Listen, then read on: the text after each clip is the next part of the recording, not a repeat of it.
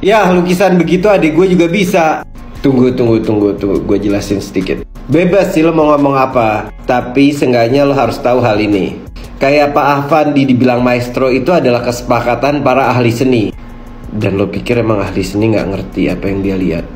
Kalau lo pikir cuma coret-coretan Ini gue tunjukin karya-karya awalnya Pak Afandi. Kita buka aja langsung. Gue tahu nih, expecting lo nggak kayak gini, pasti yang realis-realis. Nah, ini karya awal-awalnya Pak Afandi. Tuh, lo lihat. Nih, nih, nih, nih, kurang.